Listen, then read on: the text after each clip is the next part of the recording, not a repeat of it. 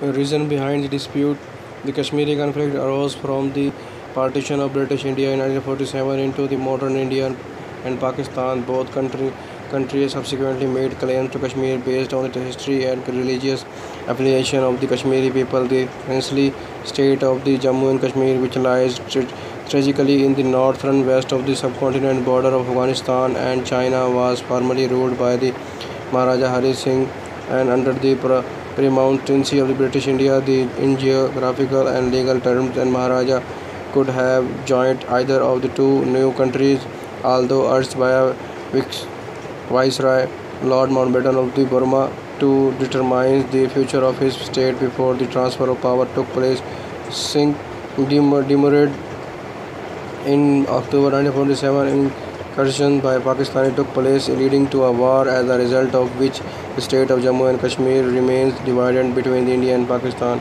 Statistics from the BBC reports in, in depth 525,000 refugees from Indian administered Kashmir migrated to Pakistan and Azad Kashmir in 1947-1948. 26,000 refugees from Pakistan administered Kashmir migrated to India and Jammu and Kashmir in 1947-1948. A minimum of 506,000 people in the Kashmir Indian administered Kashmir Valley are internal displaced due to militancy in Kashmir. About half of whom are Hindus, Pandit Muslims from the majority of in the Poonch, Rajput, Rajouri, Kishtwar and Doda districts of the Jammu region. Shia Muslims make up the majority in the Kargil district in the Ladakh region.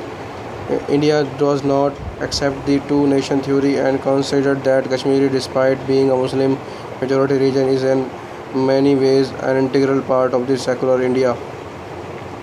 Two-thirds of the formerly princely state of Jammu and Kashmir comprising Jammu and Kashmir Valley and the sparsely populated Buddhist area of Ladakh are controlled by the India while one-third is administered by Pakistan and the latter includes a narrow strip of the land called the Azad Kashmir and the northern areas comprising the Gilgit Agency and Baltistan and the former kingdom of the Hunza and Nagar attempts to resolve the dispute through political discussion having been unsuccessful. In September 1965, war again broke about between Pakistan and India. The United Nations called for another ceasefire and peace was restored following the Tashkent Declaration in 1966 by which both nations returned to their original position along the demarcated line.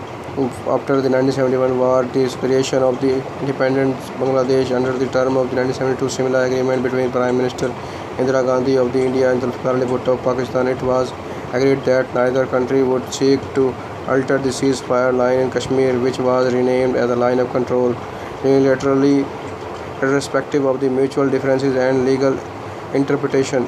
Numerous violations of the line of control have occurred, including incursion by the insurgents and Pakistani armed forces at Kargil, leading to the Kargil War. There have uh, also been sporadic clashes on the Siachen Glacier, where the line of control is not democratic and both countries maintain forces at altitude rising to 220,000 feet with the Indian forces serving at high altitudes.